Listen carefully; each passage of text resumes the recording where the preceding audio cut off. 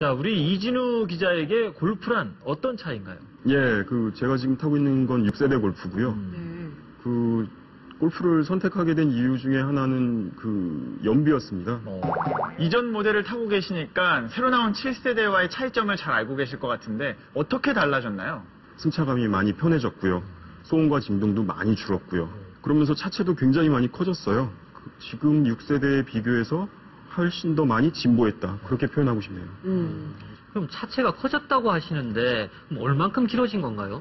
예, 길이는 56mm가 늘었고요. 와. 휠베이스도 더 59mm가 늘었습니다. 이야, 완전 다른 차인데.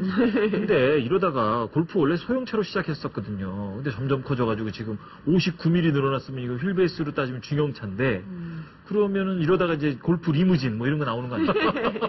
그럴 수도 있잖아요. 예, 뭐 차체가 커지는 건 인류가 더 커지고 있기 때문에 어쩔 수 없는 현상입니다. 어, 이번 7세대에서 가장 중점을 둔 부분이 있다면 어떤 게 있을까요?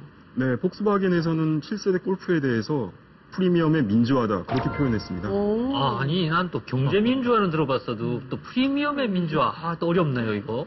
예, 그 한마디로 서민을 위했던 골프가 프리미엄을 지향했다고 볼 수 있는데요. 음. 우선은 세련된 디자인을 채용했고요. 실내도 굉장히 고급스러워졌습니다. 차가 커진 건 물론이고요. 승차감 자체도 예전에는 통통 튀는 듯한 경박, 경박함이 있었는데 7세대부터는 중형 세단처럼 묵직한 그런 승차감을 채용하고 있고요. 음. 근데 뭐 요즘 차들이 워낙 승차감도 다 좋고요. 또 좋은 편의 장치를 많이 가지고 나와서 좀 이렇게 프리미엄이다 골프가 그런 느낌은 잘 모르겠더라고요, 저는. 분명한 거는 이 골프가 지금 세계적으로 인기를 많이 얻고 있고 많은 사람들이 선택을 하고 있다는 점이잖아요.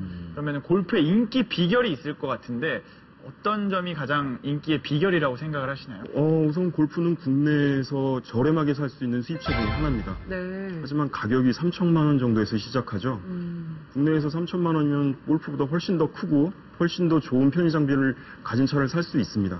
그럼에도 골프가 많이 팔리는 이유는 성능과 이미지라고 생각합니다. 어, 이미지지. 골프는 단단한 섀시를 바탕으로 뛰어난 핸들링을 지녔고요. 음. 고속 안정성도 뛰어납니다. 음.